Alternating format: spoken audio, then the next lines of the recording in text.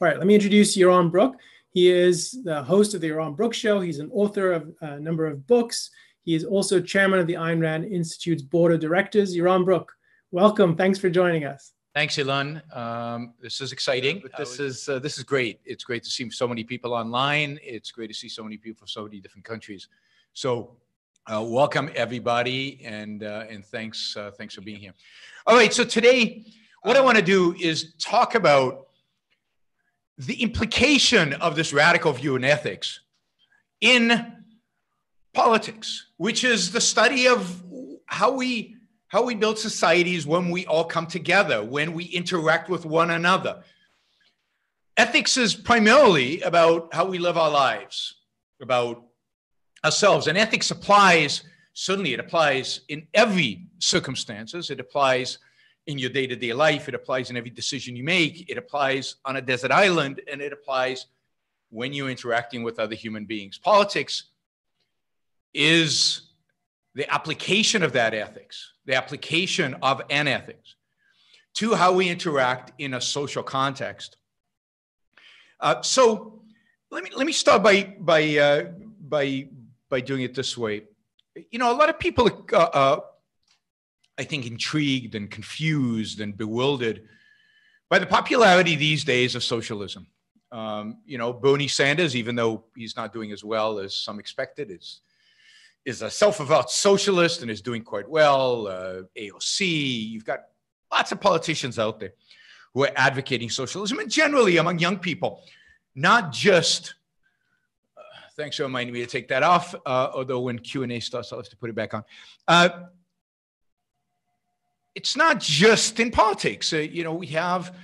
Uh, academics at universities, we have socialist student clubs, we have a vast you know, somewhat bewildering popularity of a political ideology that everywhere and to the extent that it is tried has failed. And, and I'm not gonna I'm not gonna give you another history of socialism.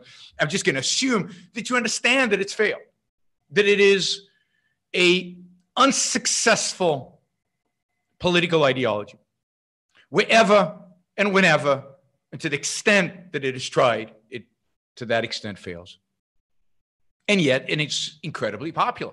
And it's not even that the people who advocate for this idea say deny that it has failed. What they typically say is but but next time we we, we can actually do it better we can do it right next time and, and it's it's bewildering to most of us because well, wait a minute. You, you've tried it a hundred times. You've tried it a thousand times. You've tried it in so many different variations, so many different places and it fails. Why, why does this idea still have such a strong appeal on people, primarily the young? And I think if you don't understand the relationship between ethics and politics, this is truly bewildering and this is truly a mystery and this is hard to understand. But let's think for a moment about the ethic that is dominant in our culture. And Onkar and Ilan have talked about this. The ethic that's dominant in the culture is an ethics of otherism. It's an ethic of altruism. It's an ethic of that says that the purpose in life, the ethical purpose in life, is other people. That virtue, nobility, morality, being a good person entails being selfless, entails sacrificing, and, and sacrificing being the idea of giving up a value for and getting nothing or something less valuable in return. So being worse off, that's what a sacrifice is. It means being worse off. Otherwise, it wouldn't be a sacrifice. It would be more like an investment. If you're going to be better off in the future because of what you do now, that's not a sacrifice. The whole idea of a sacrifice is that you are worse off, that you're taking a step backwards. And backwards from what? backwards from life, backwards from your values. So we live in a world in which the popular common ideology is that of sacrifice, that of selflessness. And particularly among the young who tend to be idealistic about their morality. tend to want to apply their morality more consistently, tend to believe that they can build a world based on their morality. So they tend to be idealistic. Well, they want to take this morality of altruism, of caring for others, of placing the well being of others above their own well being, a morality of selflessness. They want to take that and manifest it politically. They want to manifest it in how we relate to one another because the morality is all about how we relate to one another. And of course, the political ideology most consistent with such a morality is socialism. I mean, what does socialism advocate? It advocates sacrificing those who have for those who haven't. Well, that makes sense. We should be focused on the well-being of others and, and who, who needs to be focused on the most? Well, those who have the least, those who are the most needy. And sacrifice is noble sacrifice is good. So it's okay to sacrifice some, particularly people who are so-called privileged. I hate that word for the sake of those who do not have anything. So sacrifice is built into socialism, and sacrifice is a moral, noble, beautiful thing. So how could we be against it? Socialism is about the good of society, the public good, the good of everybody, not you, not specifically any individual, but some amorphous group, some undefined entity called the public. Well, that's great. That's that's non-selfish. That's non-self-interested. That's selfless. That's them. I can focus on them. That's good. And again, if I have to sacrifice for that, if I have to pay higher taxes or not be able to pursue my values and not be able to pursue my profession or not be able to do what I really want to do with my life, that's okay because this is what virtue requires. This is what morality demands. And of course, altruism because it emphasizes the idea of selflessness. It undermines the idea of, and Onkar talked about this, of, of self esteem, of self confidence, of, of, of the efficacy of your own mind. Then who knows what's good for the group, for the other, for the public? I, you know, I don't know. And why would I trust my mind? And that, that would be really selfish if I just relied on my own reason to determine what's good for others. And that, of course, leaves one susceptible to the expert, the philosopher king, the, the, the, the, the elite, that the elitist that is going to tell me, well, this is the sacrifices we need. This is what is good for the common. This is what is good for others. This is how you should sacrifice. So, to the extent that a culture takes its altruism seriously, and particularly to the extent that young people want to be idealistic and take that morality seriously. And to the extent that that culture is altruistic, to that extent, it'll be socialist.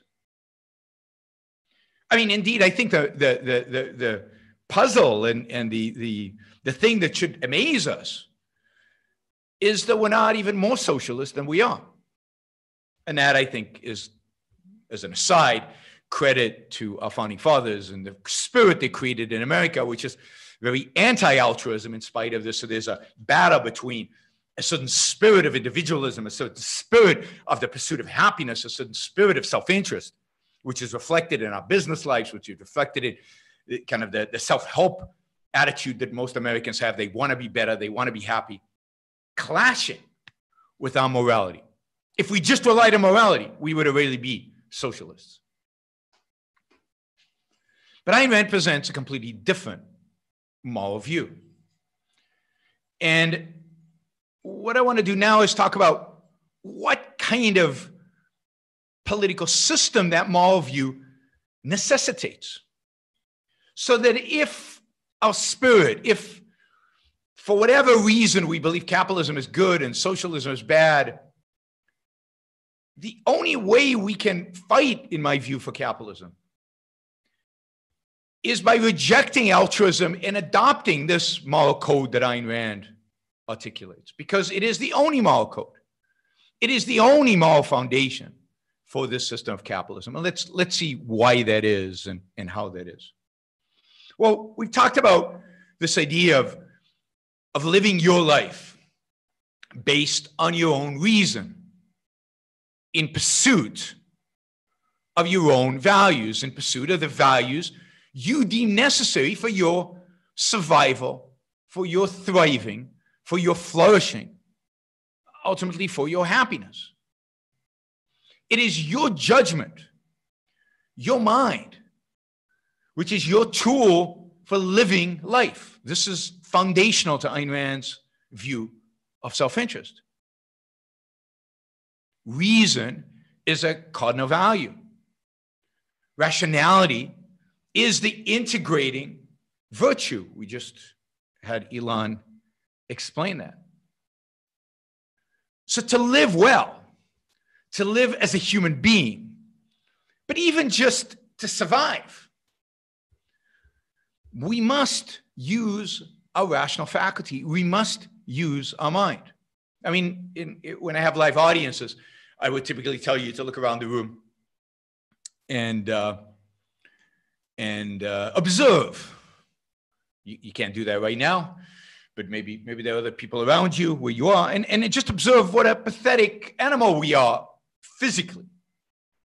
How physically, from a purely materialistic perspective, we couldn't survive. We, we couldn't have beaten the saber-tooth tiger. We couldn't have hunted the bison. We couldn't have eaten. We couldn't have survived at the most basic level if we just relied on our physicality. From really the beginning of mankind, we have needed to rely on our minds. As Leonard Peikoff puts it, reason is our basic means of survival. We cannot survive without using reason. We cannot hunt. We cannot build tools. We cannot agriculture, cannot do agriculture. All of those require thinking, never mind using Zoom and video conferencing a, a, uh, a seminar uh, across the world in lifetime with people participating and you know multiple speakers and multiple i mean inconceivable to people even just a few decades ago and now just a, a relatively trivial thing.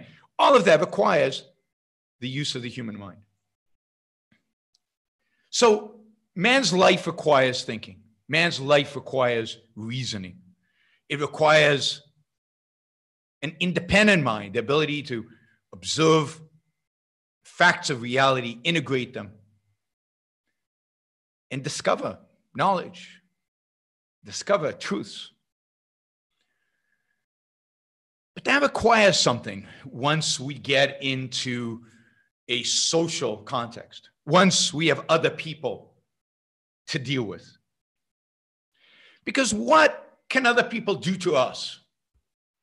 That can actually restrain ability to think, restrain ability to be an independent thinker, to actually look out into the world, to discover truth, to articulate truth, and then to act on those truths. What is an impediment? What is the one thing that can actually stop us from thinking, or at least make thinking so painful, so futile? That we lose all motivation to do it. What can other people do to us to restrict the ability to pursue the one value necessary for our own survival? Well, the one thing they can do is they can put a gun to our heads, tell us to obey, tell us to follow orders, tell us to ignore our own thinking. Think of Galileo's house arrest. What did that do to Galileo's mind? Did he go into that house arrest fully motivated to discover new truths in physics, to publish them and articulate them and teach us all? No. If he continued to do that, he risked being burnt at the stake. His books would have been burnt. There would have been no way for him to communicate with the rest of us. A gun had been placed to his head, the equivalent of a gun. And not only did it silence his hand in writing or silence his voice, but it silenced his mind. He went into that room or that house or wherever was under house arrest. And how do you motivate yourself to think new thoughts, to discover new truths when You can't articulate them. And if you do, you risk death. If you're interested, as a young scientist out there, in exploring life extension technologies, how to allow human beings today to live to be 150 or maybe older. There's a lot of interesting, fascinating science going on looking at this. but the government today says, we're not interested in that kind of science. We're not interested in your products. We're not interested in your discoveries around that kind of science. And without our approval, without our stamp of approval, you can't market them. You can't sell them. You can't bring them to market. You can't turn it into a business. Called regulation, the FDA. How many people are going to let their minds, are going to focus their minds on that issue? How motivated can you be when you know it's a dead end? Because even if you make a discovery, nobody's going to let you actually be able to get it out there into the world, to get a product, to sell a product, and put aside making the money. It's more about the ability to change the world. Regulations shrink the scope of our thinking because they are force, because they tell us you cannot go there, you cannot do that. So, the thing that restricts the human mind, that makes human thinking, ability to think, futile, meaningless, is force, coercion, an authority with a gun, an authority with the ability to impose itself on all of us. So, if you care about your own life, if you're truly selfish, and importantly, because you care about your own life, you care about your own mind you care about your ability to think, to independently think, often to think differently than other people, to, to, to, to disagree. And then to be able to take those thoughts and apply them in reality, whether in business, whether in writing a book, whether in who you want as a friend or a lover, you want to use your mind and act on your rational thoughts, your rational conclusions. If you value that, then you recognize that the true enemy, your true enemy, is in a social context, other people trying to force, other people trying to coerce you, other people trying to impose their views on you. I mean, they can argue, we can debate, we can disagree. But once you pull out a gun, once you make a I am silenced. My life is in real jeopardy. So, for Ayn Rand, the most important, the most important idea that of, of social interaction is that force be excluded. And look, before, before I elaborate on that, I think it's important to say that Rand's individualism, Rand's selfishness is not about isolation. It's not about going living on a desert island or in some forest all by yourself and producing your own food. And no, other human beings are massive value to us. They produce products that are hugely beneficial to our lives. Whether it's works of art, whether it's iPhones, whether it's books, whether it's food. I don't want to have to go out and raise my own food. I like that food comes from the supermarket. And the way in which we most benefit from interacting with other human beings is by letting them live their lives, by letting them think for themselves, by letting them use their minds to live the best life for themselves, hopefully producing values necessary for their survival. And that some of those values are valuable to me as well, and then interacting with them through trade, whether it be material or spiritual through voluntary transactions, through voluntary trade. That is the appropriate way for human beings to live in a civilized society. That is the only way we can maximize the benefits of living in such a society. And it is the only way a truly selfish human being wants to live. A desert island is a huge sacrifice. So we want to live in society. But we understand that the one thing we need to eliminate from society is force. And for that, for that purpose, we institute government. Government is a human institution.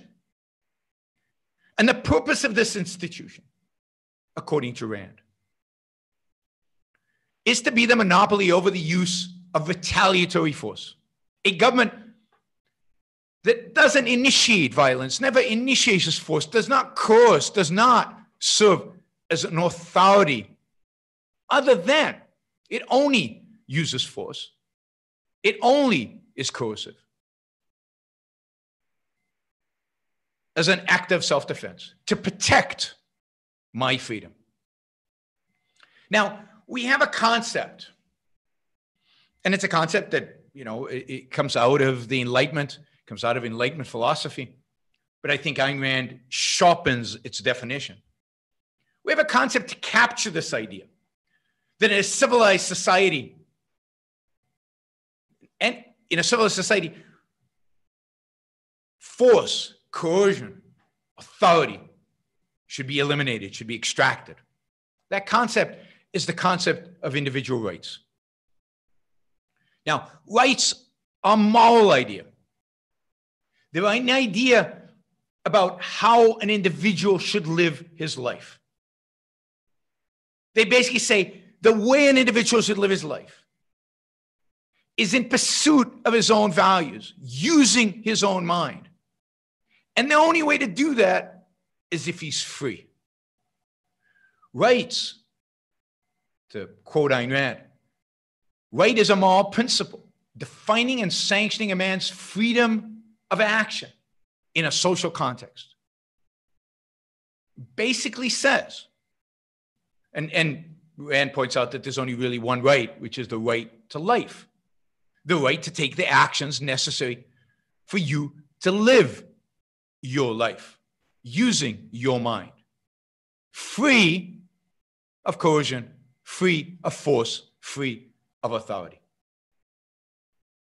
So, in that sense,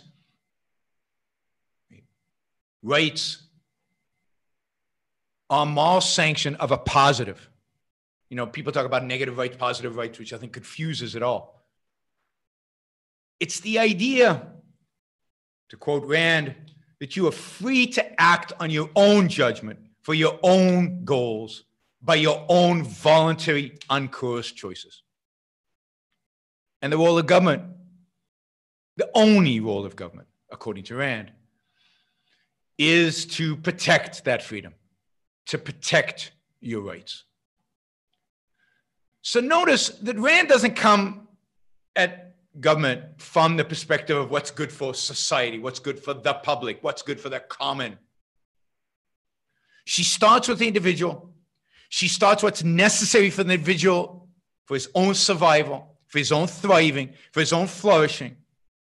She starts with happiness in a sense. With man's pursuit of happiness, and ask the question what kind of social structure, what kind of government, what kind of political system do we need to facilitate this pursuit of happiness? To make it possible for individuals to pursue their happiness, not to guarantee happiness, not to guarantee the most happiness for the most people, but to guarantee you the freedom to pursue your happiness. And that is the system of individual rights. That is capitalism. Capitalism, which is a political, social, economic system in which the role of government is limited to the protection of individual rights, primarily property rights, but individual rights broadly, where the government has no involvement in the economy, where there is a true separation of economics and politics.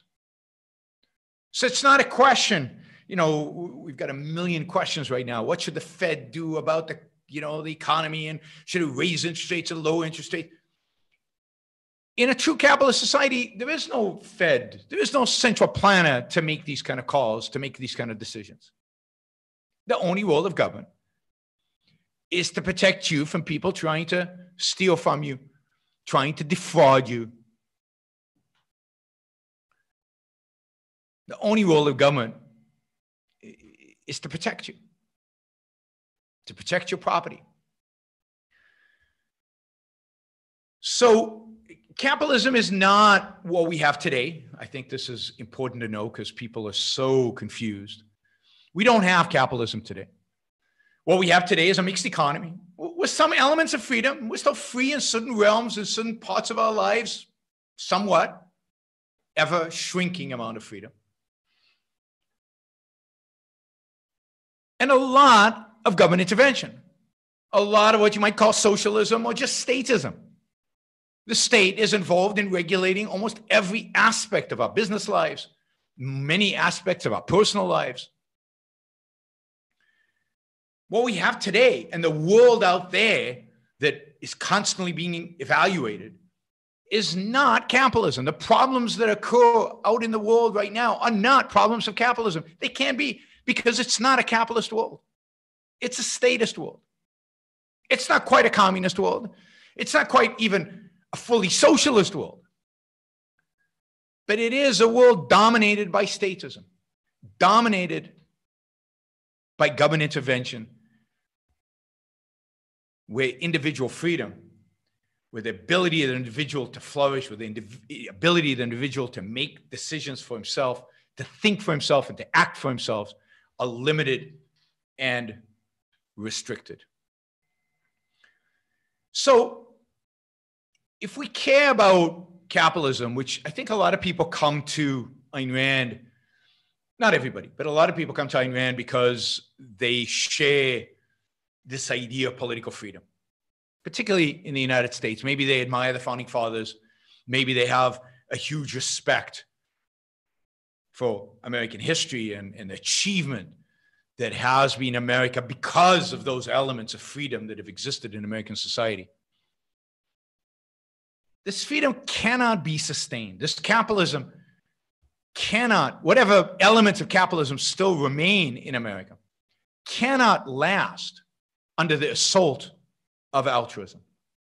And we cannot move towards greater freedom, towards true capitalism, towards a truly free world without rejecting, completely rejecting the morality of altruism and replacing it with something positive because it's not enough just to be against something.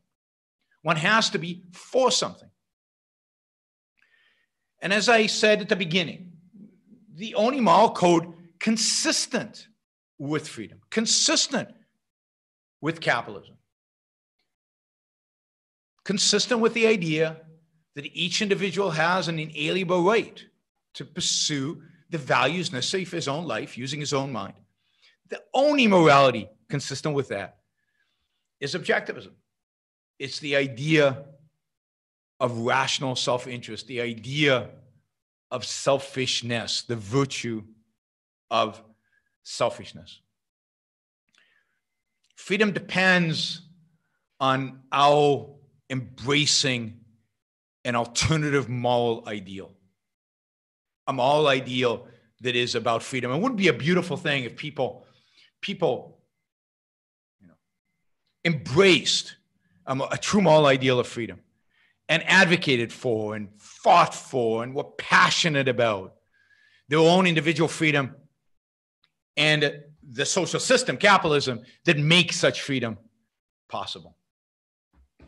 All right, so I'm gonna I'm gonna end there. We could go on for quite a bit, but I know there were a lot of questions, so I'm gonna allow us to move into a into the question period. I don't know how do how do we do this, Elon? How do we do the questions?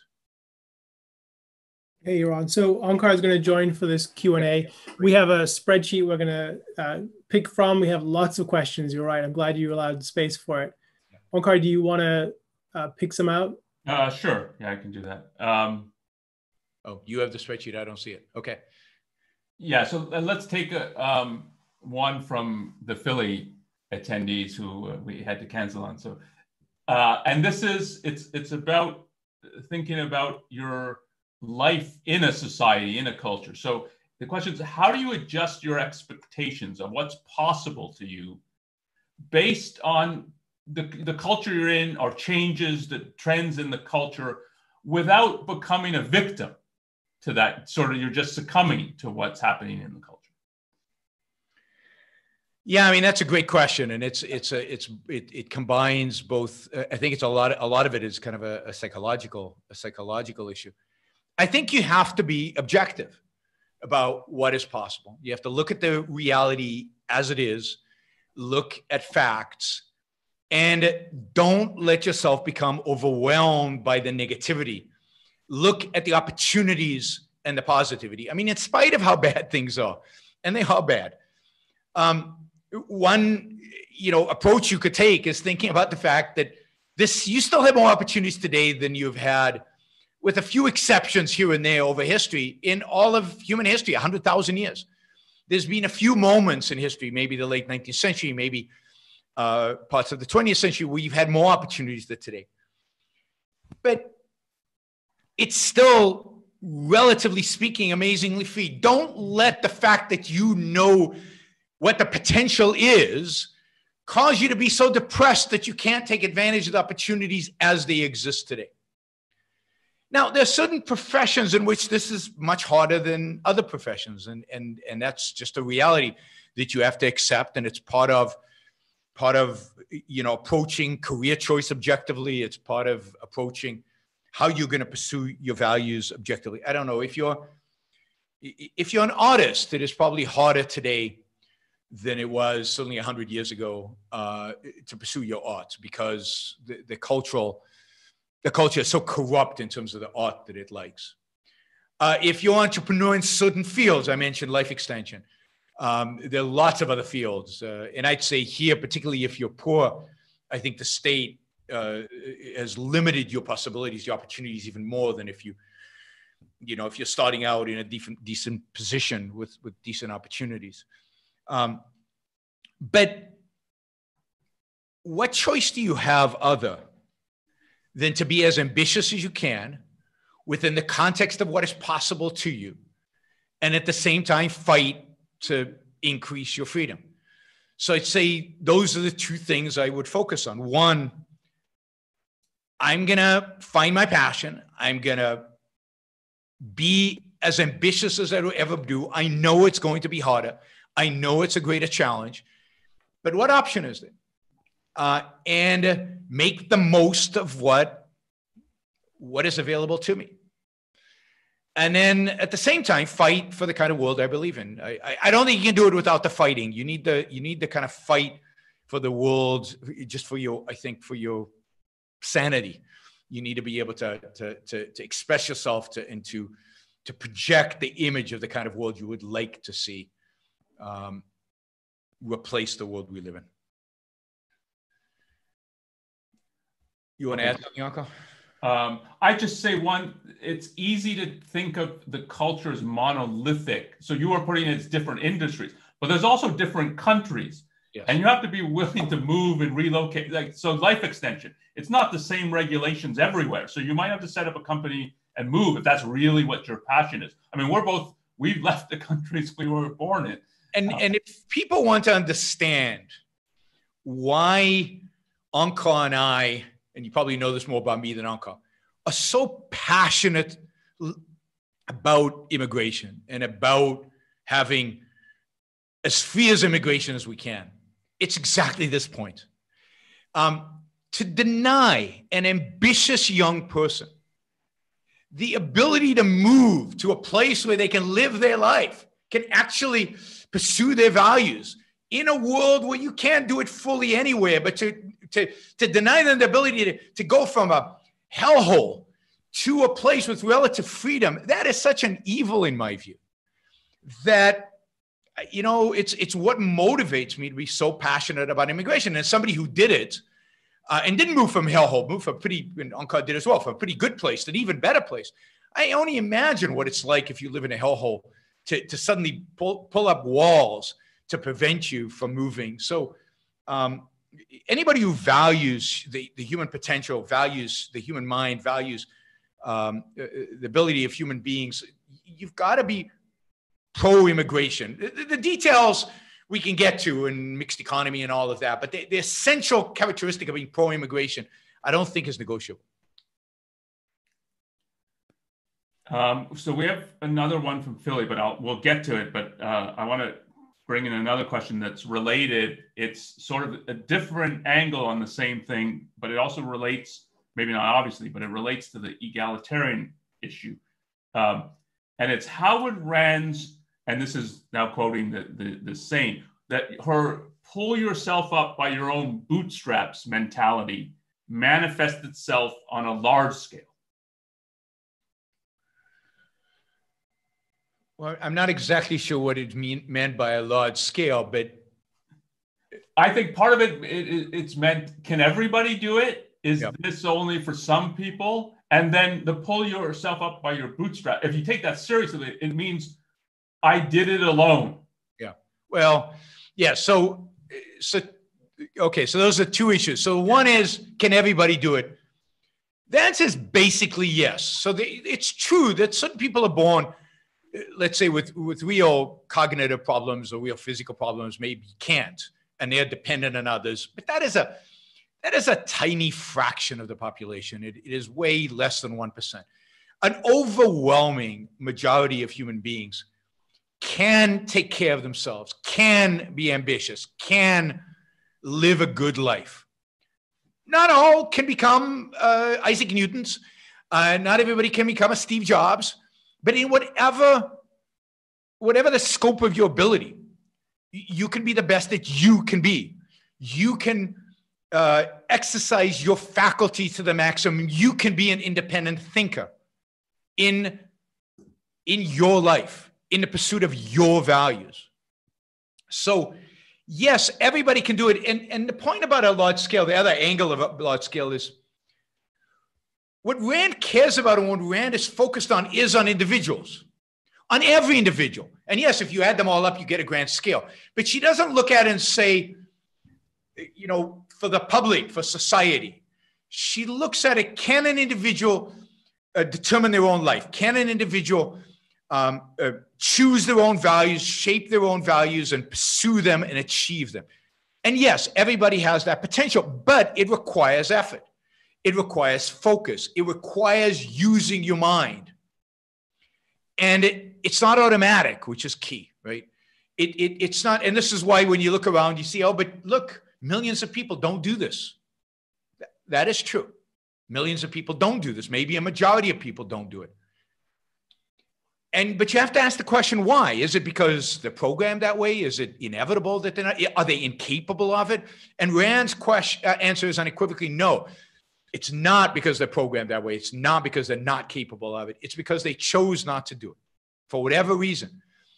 It's within their power to choose differently. It's within their power to change, and it's within their power to engage that faculty of reason uh, in pursuit of their own values. So that was the first point. And then the second point is alone. I mean, there's a sense in which it's alone and that senses that you have to engage your mind, your reason. Nobody can do that for you. Nobody can turn it on for you.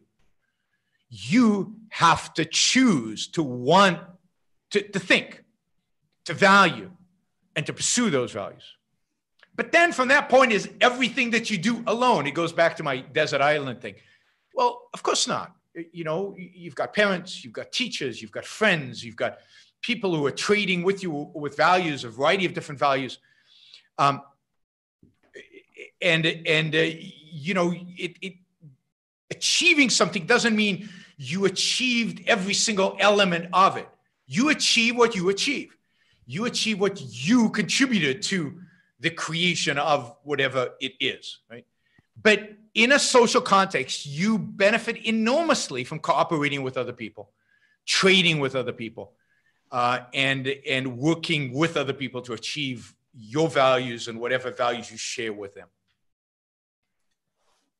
Yeah, and part of the reason I brought it up and put it in that context is this is a common argument today that it's you get the um, if you if you say you've achieved something or somebody says I've achieved something, it's well someone paid for the roads you drove on to work and someone paid for the school where you were an elementary kid and got educated. So so what do you mean you did it? And it's it it equivocates between you did everything and what you did was essentially you yep. um, and you made choices and you did something and, and in that sense you did it alone uh, and this so and it's often they'll put it's well did you pull yourself up by your own bootstraps and that means like literally go from zero to you're an adult and you did it all nobody taught you how to read or speak and so on and of course that was manifest in obama's famous speech you you didn't build that you know yeah. and and um, Elizabeth Warren specializes in it. Yeah, so he got it from Elizabeth Warren. She was even before that, and and the idea is you, you had great teachers, you you drove on roads, you, and and all of that is true. You did have great teachers, you know, and and but that's not what it means to build something. It doesn't mean I did every. Literally, I I went out and went to the quarry and cut up the rock to make the concrete to to, to build the building. I mean that is absurd. Um, and of course, everyone on the call it a supply chain uh, everybody's talking about supply chains these days, supply chains of the creation of this value. It, it, justice demands that everybody in that supply chain gets uh, compensated according to what they contribute to whatever it is that is being created. So, in a sense, every single one of those people built that. They built whatever their portion is in building the thing that is being built, and they all get compensated for it. So, it's not like you exploited them. You didn't exploit your teacher. Although I, I will say, if you had a great teacher I say this often, if you had a great teacher when you were a kid and, and you think that, and, and you justifiably believe that she had a great, a, a real impact on who you turned out to be and the choices you made, on exposing you to ideas you wouldn't have had, then write them a letter, you know, uh, uh, and if you're rich, send them a check, uh, you know, express your gratitude. And, and that's an act of justice. That doesn't mean you shouldn't take pride in your own achievements. It's just an expression of justice to thank the people who, who helped you along the way. There's nothing nothing wrong about that, nothing that diminishes you about other people helping you. To the contrary. Um, okay, let's take one more kind of wide issue, and then there's questions, unsurprisingly, about response to the pandemic and so on. Um, so we'll get to that in a second. But what the last kind of wider question, which is about thinking uh, if we had capitalism, full capitalism, or if we're moving in that direction, what would it look like 50, 100 years from now? And in particular, would it look like that there would be a massive concentration of power in a few hands and most people not doing much and sort of useless? And you might even think, I mean, part of the question might be, it's isn't where are we already moving in that direction with the Facebook and Google and so having so much power in so few hands and everybody else is sort of powerless and soon to be useless and yeah. not like not needed. Yeah, and, and this is a big issue, and, and you see it articulated by people on the left, people on the right, libertarians. I, I mean, really throughout the, throughout the whole political spectrum, this idea that robots are going to take our jobs, um, the return for uh, you know monopolies are going to dominate, and the return for certain types of skills are going to be massive, and the return on all other skills are basically going to be zero. And since robots are taking our jobs, and then uh, uh you're going to be, in a sense, there's going to be nothing to do. Um, and and well, Disney had a movie, uh, you know, a cartoon movie about that, the little robot, and everybody's everybody just sits in a chair and eats and drinks all day because they don't have to do anything because the robots are producing everything. And it's um, so this is not a new idea, and indeed, this idea that technology reduces the amount of jobs and that technology causes a massive concentration of wealth and everybody stays poor and is an old idea. It's an idea that goes back to the 19th century. It's an idea that that uh, at least one part of it, the concentration of wealth, gets uh, thoroughly articulated by Karl Marx, um, and he he predicts a certain path for human. You know, where all the wealth is concentrated in a few hands. He basically makes exactly the same prediction that the that people like Thomas Piketty and others are making today. Um, so, uh, and of course, the Luddites and, and the anti technologists, starting in the late 18th century were predicting that technology would create these two classes where almost all of. And, and the facts, the historical facts, the empirical historical facts suggest the exact opposite. That is, that technology creates more jobs than it destroys, always, everywhere. And uh, the, just think about the number of people working in productive jobs today. And let's take out a productive subsistent farming, because that's not really productive. So subsistent farming is how most of us lived 300, 400 years ago. We grew food and we ate it. So productive job is where you, you produce something and you trade, where you're actually uh, in creating wealth in a sense. You, you, you, you, you, you're trading with others because you've, you, and you're creating what economists call the surplus. We're creating, you, you, you're raising your standard of living over time. Um, technology, uh, the number of people today working in such productive jobs is in the billions. The entire human population 120 years ago was less than a billion. And today, working, number of people working productive jobs is in the billions. And you get a sense that there's no end to the number of jobs that are going to be out there. And there is no end. Human needs, human wants, human desires are infinite. And unless you're a science fiction writer, and a good one at that, it's hard to imagine what the jobs of the future are going to be. It's hard to imagine what people are actually going to do in the future. I don't know. I mean, I couldn't imagine that literally, I can't remember the number, but it's it's it's close to a million people, something like that, work today in the gaming industry. And some people get paid to play games online. I mean, that's just bizarre to me right? Because I'm from a different generation. Most of you think gaming is just, well, it's always been here. It's just, it's just, so the kind of industries, the kind of jobs, the kind of work is, you know, is hard to imagine, but every fact that we know about human nature and about the world out there suggests that technology creates more jobs. And the fact is that technology makes possible productivity for the least able.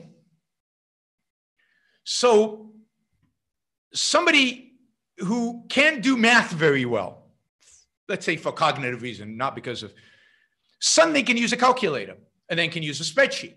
Spreadsheets are not that hard to use. And they can do very complicated math without really knowing anything about the underlying math because the spreadsheet's doing the work for them. And suddenly they are a million times more productive than they were before there was a spreadsheet.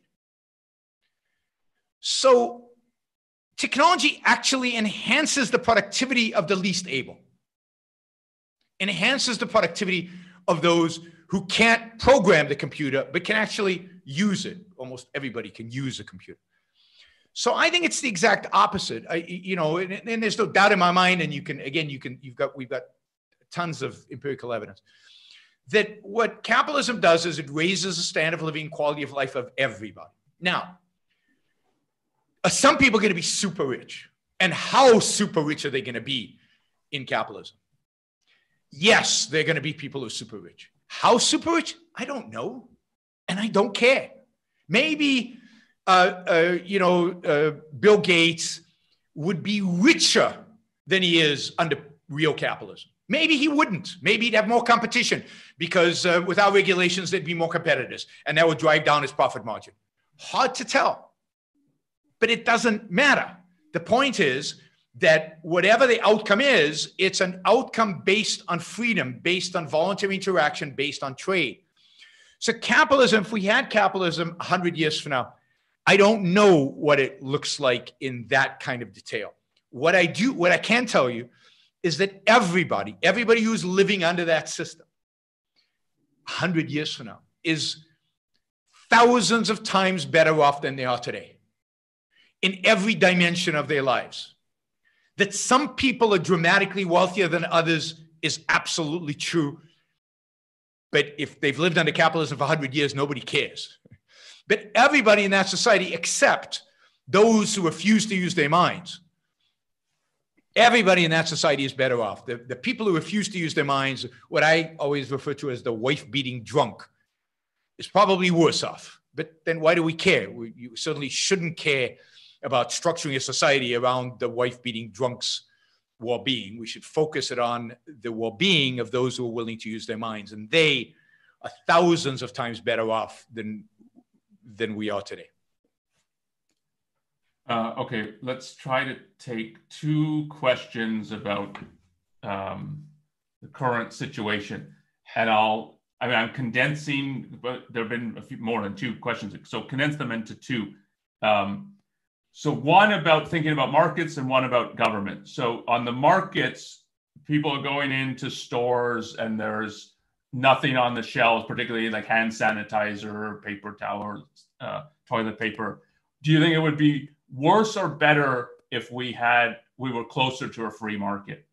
That's one. And then in terms of government, thinking of a um, of a proper government, what sh- should its powers be in the in the case of a pandemic like this? So if I'm allowed to plug my show, I my plan is to do a whole show tomorrow on what government, what what capital, what pandemics look like under capitalism. So because I think there's a lot to say about that. So, but broadly here, I would say to the second question first is that the role of government is the same in a pandemic as, as it is in everything else. The role of government is the protection of individual rights. And there is a role here because if I have a, uh, a virus or a disease that clearly is life threatening or a significant, represent a significant health threat towards other people, then the government's job is to prevent me from infecting those other people. So I, will give you an example. It just infuriates me because everybody's so blasé about it. There was a guy the other day who flew on a JetBlue plane and as he got off the plane, I guess he told the flight attendant or the, or the hey, I've got coronavirus. Now, in a proper world, that guy would be in jail in five minutes, right? He would be quarantined, but more than that, he would be, I think, at a criminal prosecution for endangering other people. And potentially, if other people got the disease, uh, liable for the cost of treating them. And if anybody died, liable for manslaughter. So a, a, a proper government would take those kind of things super seriously? It, it would, it would, it would, um, it, would. Once somebody is identified with having the disease, it would insist on them being isolated and quarantined. And of course, because borders do matter, one of the things that it would be doing is is in assessing people entry into the country, one of the qualifications would be, are you carrying an infectious disease? And it, you know, it's completely legitimate for a country to be checking people as they enter the country of whether they're carrying an infectious disease, and if they are, either quarantine them or send them back where they came from. Um, so it's it's it's that's part of what a government would do. Um, so in a true laissez-faire capitalist economy, I think that that is really all it would do, including all, all that's necessary to make that possible, which is not trivial. Now, I think in the world in which we live in today, which is not ideal, and where the government has all these, has all these, is involved in so much of our lives already, it can't only do that. When 50, 60% of the healthcare system is controlled by the government, it can't say, well, we're going to let the market deal with that be, you know, we're not going to be involved. It has to be much more engaged in the world today than it would be under a, a purely capitalist system. And that would include things that haven't been done well today like like you know facilitating the, the, the testing like um, uh, making sure there are enough beds uh, hospital beds making sure there are enough hospital supplies and all of that and let me just say about the supermarkets things would be uh, better much better in a free market uh, for a variety of reasons. Because I think I think if we were in a free market, people would be more rational. I think the gov, you know, the, the way the government has dealt with this has encouraged this kind of uh, behavior. I think that businessmen would have been given had more expectation. Uh, we price gouging would have kicked in, which would which would have moderated uh, people uh, hoarding stuff. So there were a lot of mechanisms that in a free market would have dealt with this. And of course, people could have people could have immediately asked people to go, paid people to go in overtime. You, you can't do that. Are all kind of labor laws. There's so many ways in which production is restricted today. And you can't, as an emergency situation, just ramp up production as a one-time thing. Uh, that in a totally free market, there would be a lot, lot fewer shortages than there are today.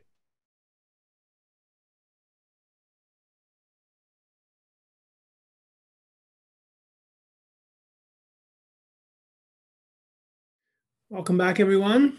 Thanks for joining us at Ayn Rand Con Live. I'm going to be joined in just a moment by my colleagues Yaron Brook and Onkar Ghate, and we're now uh, going to try to make a dent in the long list of questions that we have in this general Q&A panel. Uh, let's turn to the question period. We have a lot of questions, and I I, I cut you off, Yaron, about you wanted to add a few thoughts, or you you you, well, you were talking about. I wanted to add anything yeah. to the previous question. Okay, let's go. Let's do that. The yeah.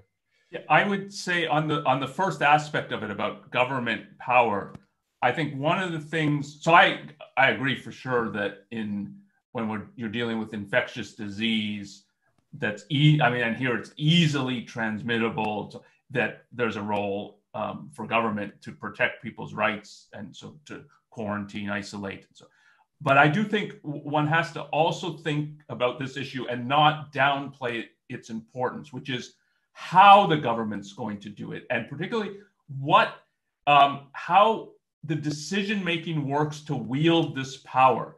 So part of the separation of powers is to create a system of government where the, the government's checking itself, and the the less there is of that, or the more it's decayed, the more any kind of power, even legitimate power, it's wielded, it can be wielded in all kinds of bad ways, and there's no check.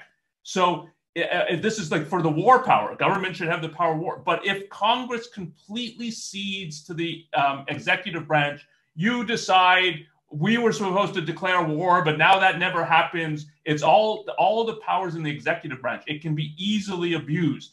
Um, and the same to declare a pandemic. I think Congress should have a role in it, and they should be checking each other. And disputes the Supreme Court would resolve, so that like you can't have a pandemic that's going to, I mean, likely last two years, and they're wielding this power. And we you saw after 9/11 again, seizing emergency powers that they never give up.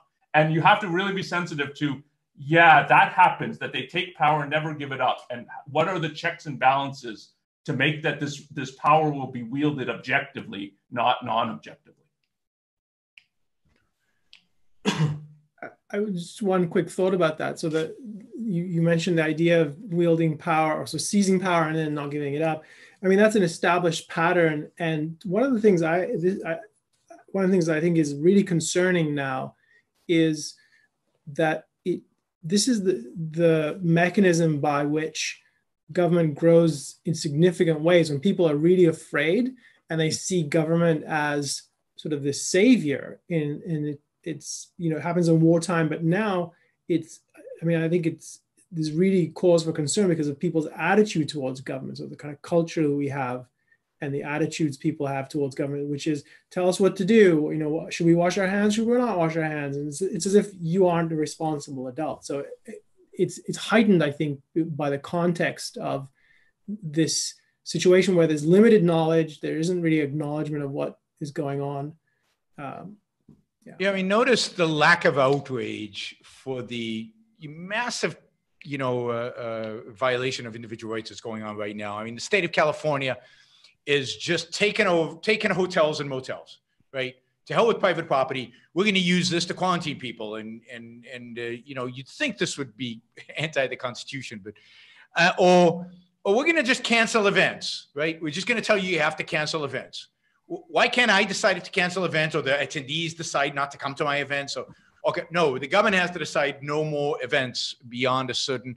All of these things are massive violation of rights, confiscation of private property, and nobody is outraged because it's in the name of emergency. And notice all these governors, they'll have one case and they're announcing emergency powers in every, almost every state in the union. And what that, what are emergency powers?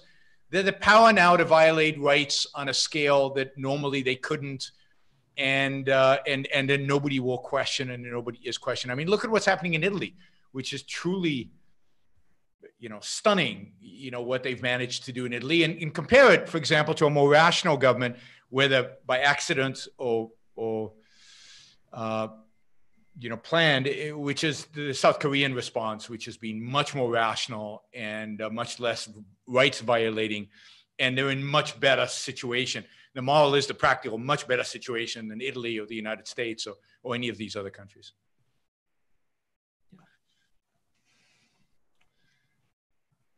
So, Elon, any uh, next question?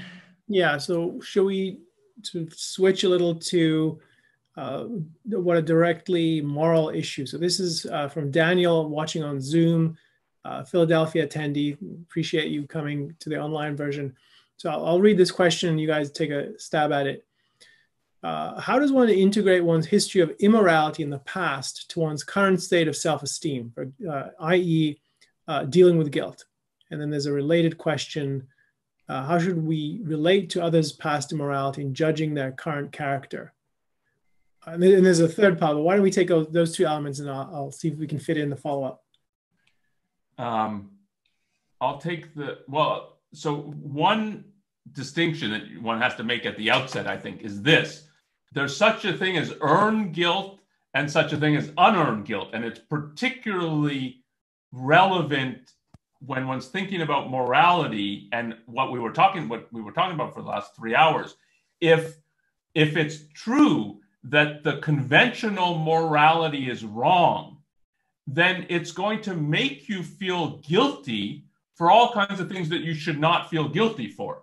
Um, so if it's telling you pursuing your own life and happiness and career and being concerned with your loved ones and not with your enemies if that's evil then if you're doing that, you should feel guilty for it. And if you're now starting to question that moral view, you can think about your past. Like I felt guilty a lot. So, and you have to think, yeah, but maybe for most of it, I shouldn't have felt guilty. And so it, it's relevant. I think you should think about your history and because it's what forms your character. So you should think of what's forming my character. But you have to be open to the possibility, particularly if you're changing your moral views, to think, okay, I've been evaluating myself as guilty for that, but I, actually, I should I should think of that as something good about myself. And much of Atlas Shrugged, the story, revolves around this of people condemning themselves for what, in fact, on a better morality, or let's put it just on what Ayn Rand thinks of as a better morality, they should think of themselves as not just not guilty, but good for what I've done. So a lot of the business people beat themselves up for their virtues. So that that's one thing that is very important. And then on the second, if you now still think there's things in your past, it's uh, that I were wrong and I made bad choices and I should not have done that.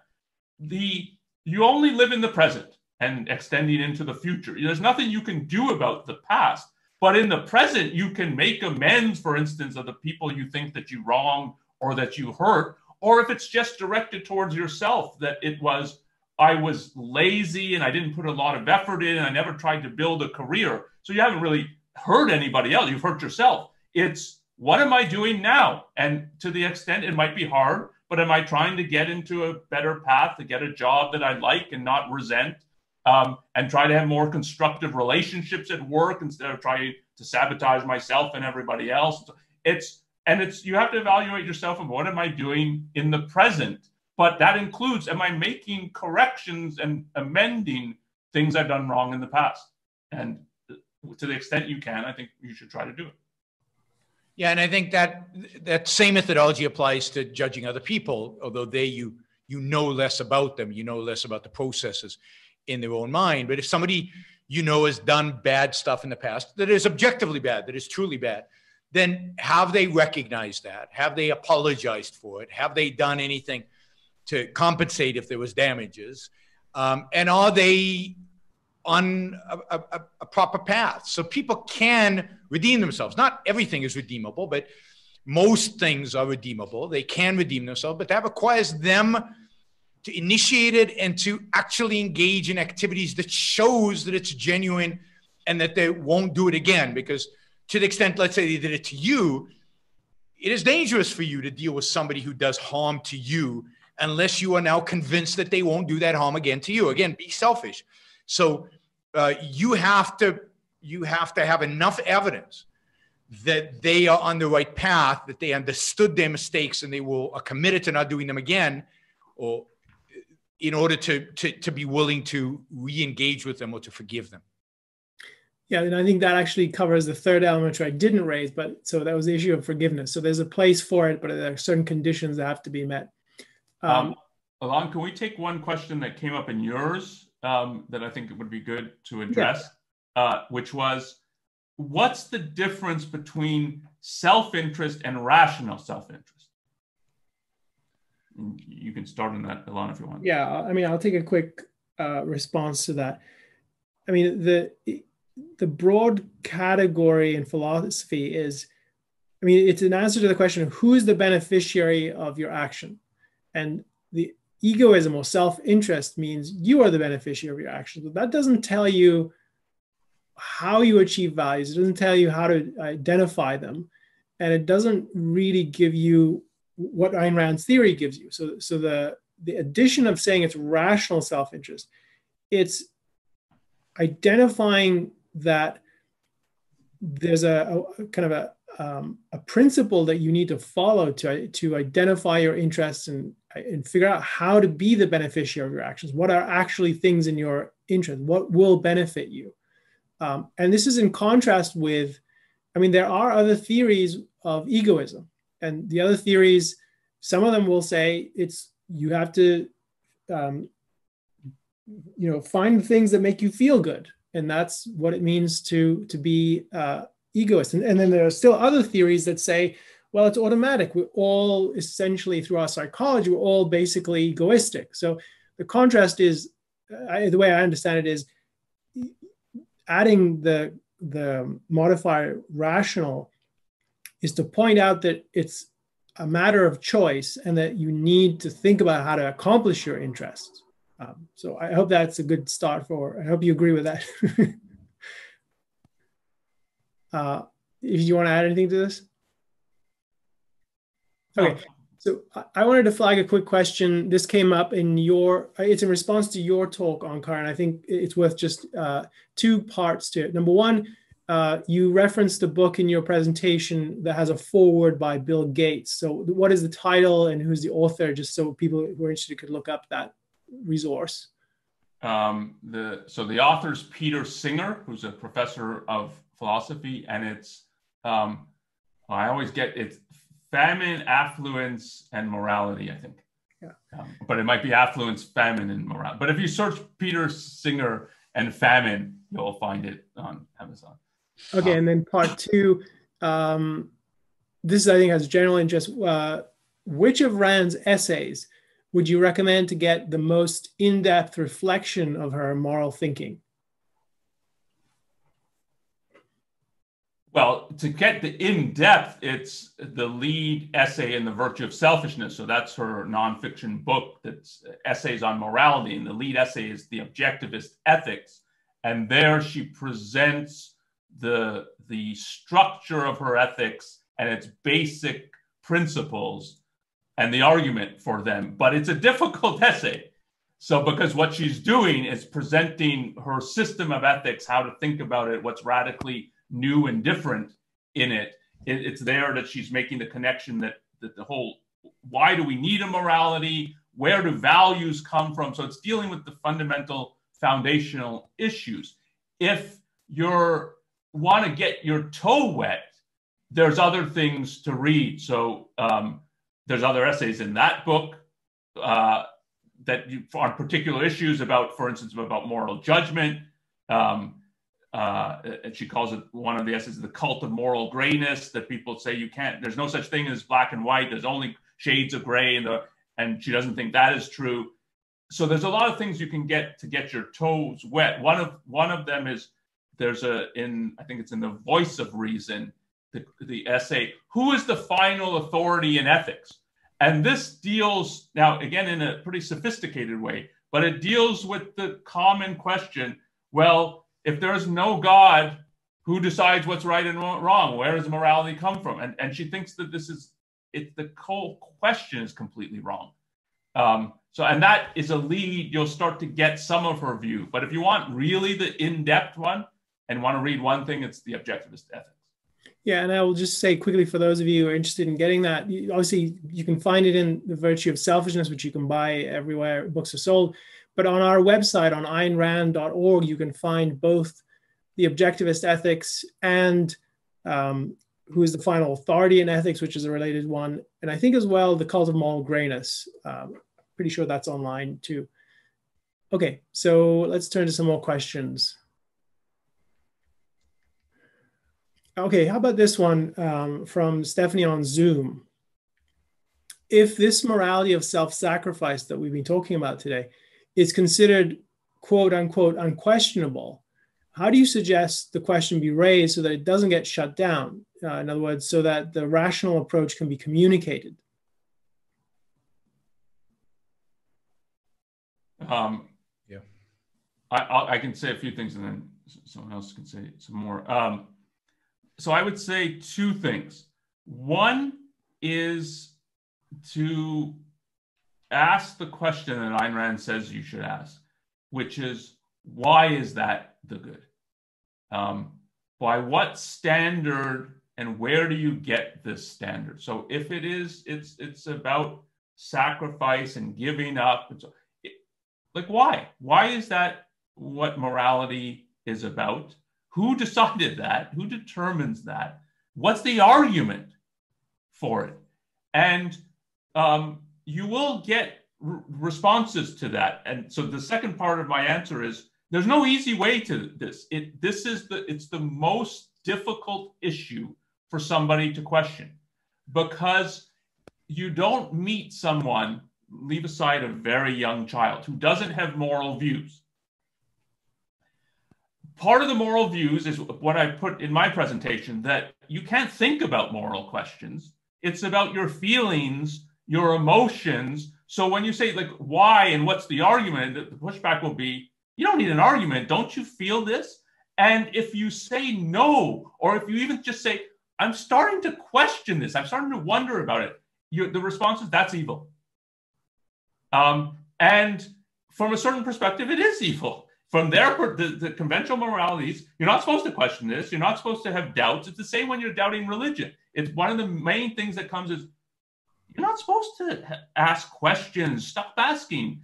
Uh, uh, this is a common thing for young kids when they start asking questions. Stop already. Stop thinking about it. It's you're supposed to believe. You're supposed to accept. Don't you feel it? And then if you're asked well no i don't there's something wrong with you um, so to have the intellectual and moral courage to question this, you have to stand outside of it. But to stand outside of the good is to be evil. And you will be, and I mean, you can take Ayn Rand as a lightning. Why is she a lightning rod of so much criticism? Because she's saying, look, what everybody thinks is good is evil. And the response is, that's evil, what you're saying. If you're questioning what's good, you have to be on the side of evil. And that there's no getting around that. So there's it's there's things you can do to try to encourage people to ask questions, but you have to be sensitive to the fact that the culture for for in this in a sense logical regions pushes the person to think, no, I should not be asking questions. That's evil. All right, let me throw another question at you guys. This is from uh, someone who's anonymous on Zoom uh, doesn't duty make people follow rules and therefore maintain the social structure? So, in effect, a challenge to some of the views raised.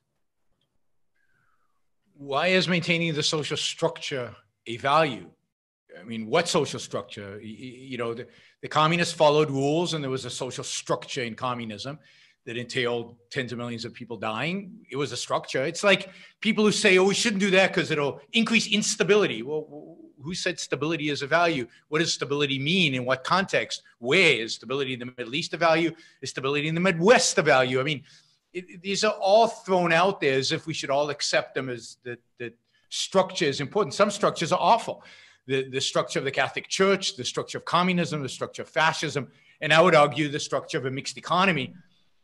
And beyond that, what is, even if you could argue that somehow everybody playing their little bits, you know, reduces violence and our lives are somehow marginally better, which you can't. But let's say, well, what about their lives? you know, what about the people who are following duty? Their lives are not better. Their lives are miserable, and and uh, they now you you're basically treating them as cogs in a machine.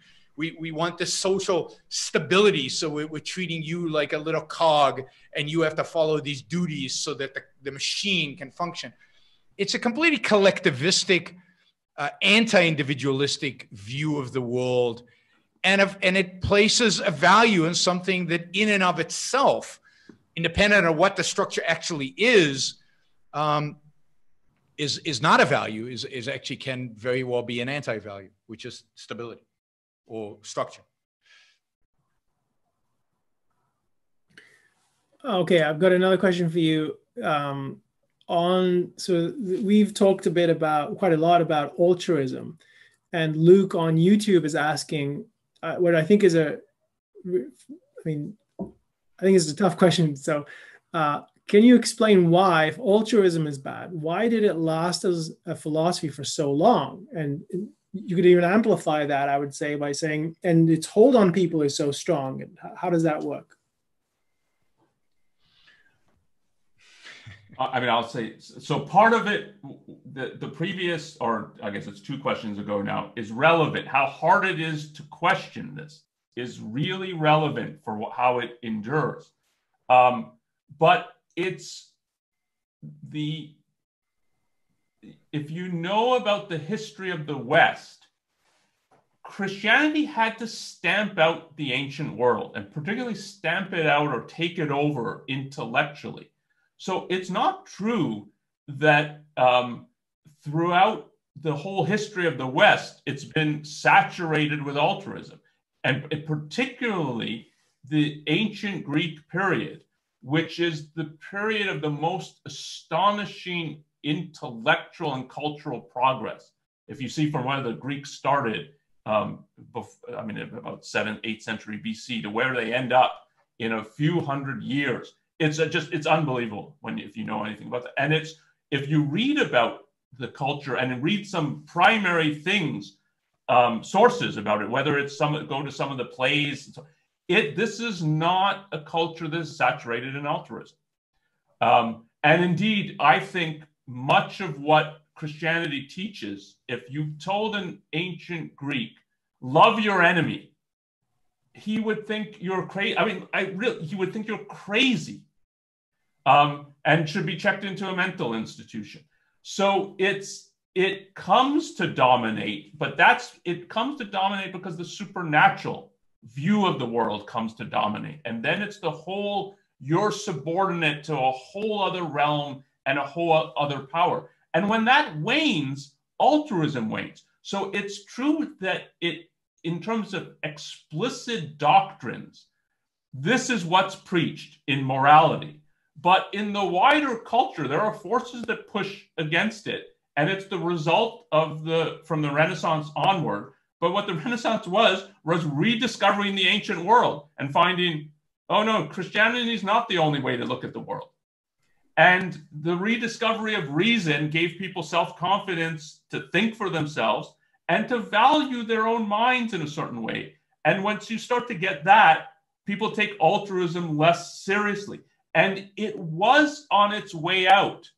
So the fact I brought up in my talk, Mill and Kant, and I said they're 19th century, they're resurrecting altruism, but they're resurrecting it because it's being pushed out. And Kant's explicit about this. I'm here to save religion and particularly the religious ethics because it's going to lose. Um, and unfortunately, he saves it. But that's a complicated philosophical issue of why nobody could answer Kant. And so everybody thought, yeah, he's shown that reason has nothing to do with morality, and morality is about commandments from some beyond. We don't know what beyond. It's called the noumenal world, but it's like we don't know what it is, but I guess that's where it comes from, and so and that. But it was saved, so it was on its way out. So it's not just it's always there, um, and there's nothing you can do about it.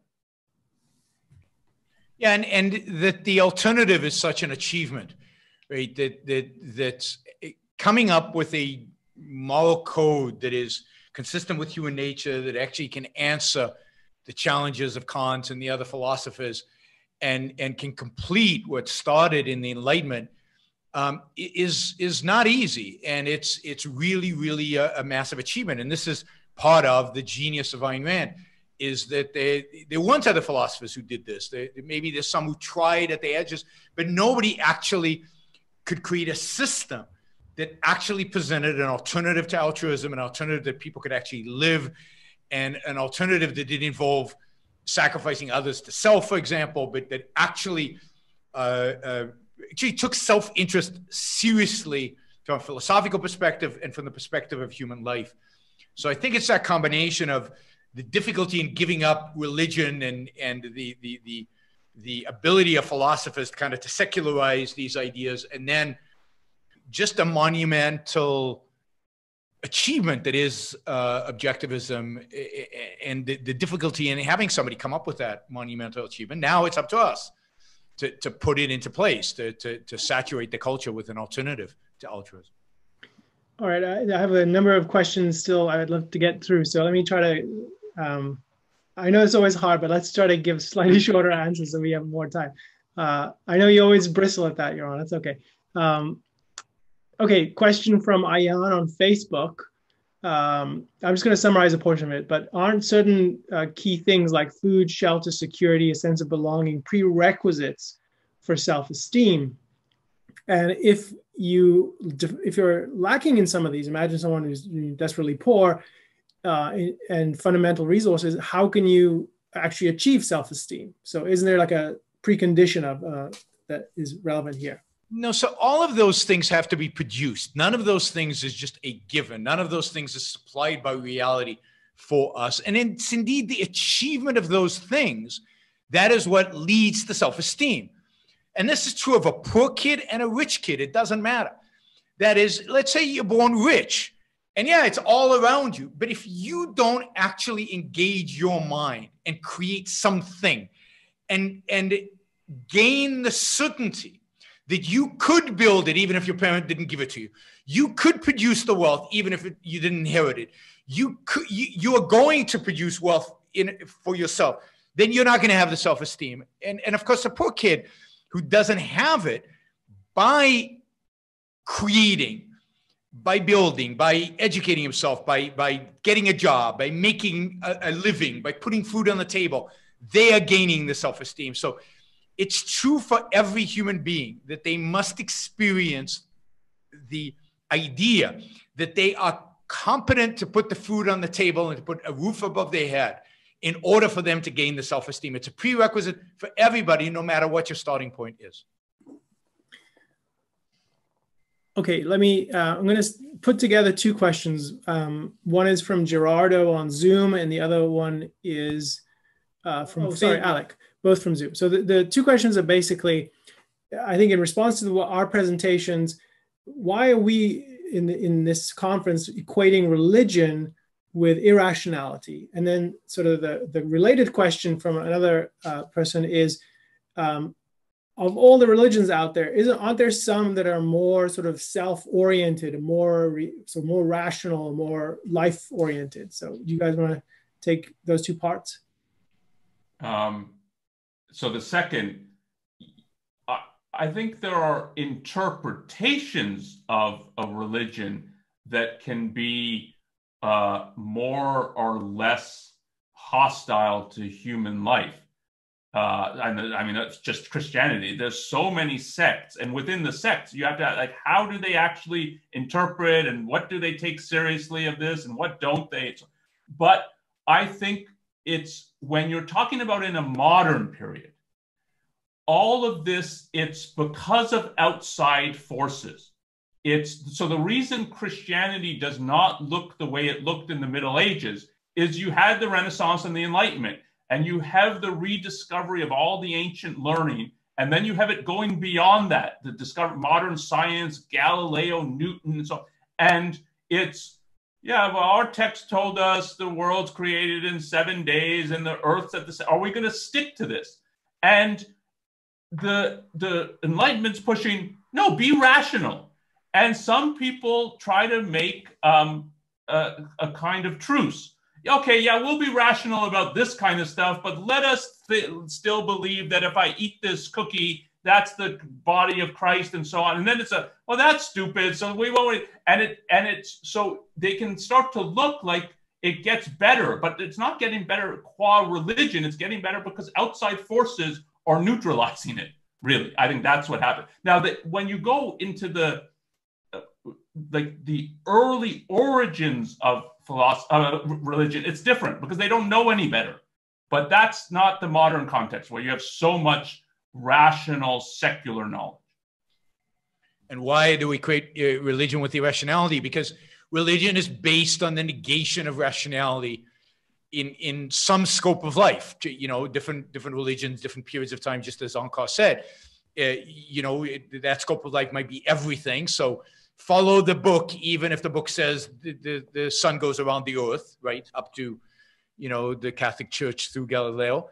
Um, to today, where follow the book only in these things, right? The things that we decided you should follow the book. But in whatever it is, it's the negation of reality, negation of evidence, negation of your senses, negation of thought.